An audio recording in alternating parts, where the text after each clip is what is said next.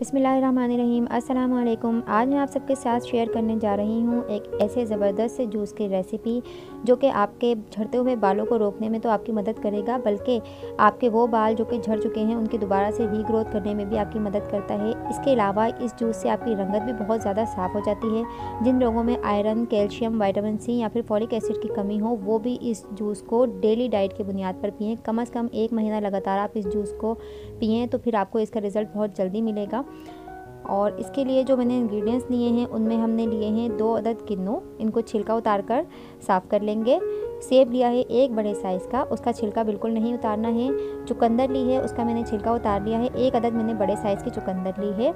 गाजरें ली हैं मैंने दो अदद बड़े साइज़ की, उसको मैंने कट कर लिया था।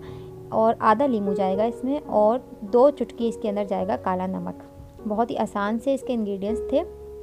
ये तमाम चीज़ें आपके अंदर वाइटामिन सी की जो है भरपूर मकदार पैदा करती हैं और आपके इम्यून सिस्टम को बढ़ाती हैं। अब हमें कुछ नहीं करना है, बस इन तमाम चीज़ों को जूसर मशीन में डालना है और उसके बाद इसका जूस जो है वो निकाल लेना है।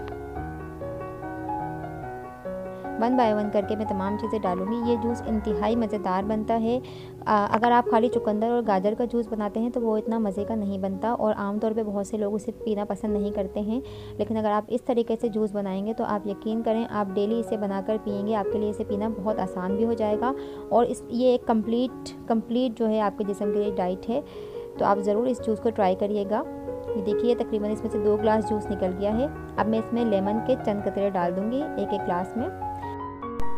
बड़ों के साथ साथ ये जूस आप बच्चों को भी पिला सकते हैं, लेकिन बच्चों को आपने इस तरह पिलाना है कि अगर आधा जूस आप ले रहे हैं तो उसके साथ आप आधा ही पानी मिलाएँ। यानी एक कप अगर आपने जूस बच्चों को पिलाना है तो आधा कप आप जूस ले लें और आधा कप उसमें पानी मिला लें, उसके बाद बच्चों को ये दें। इससे बच्चों का नज़ला ज़ुकाम भी ख़त्म होगा, उनके अंदर आयरन और कैल्शियम की कमी भी पूरी होगी।